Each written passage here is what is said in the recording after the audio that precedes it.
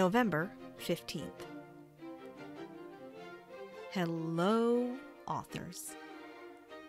It's halfway day! It's halfway day! By now, you should be halfway done. You have climbed about halfway up that roller coaster, and you're just about to get to the point where it's all downhill from here. You have proven that you can develop a habit and keep it going over an extended time. Writing every day should be starting to feel natural. You're in the groove.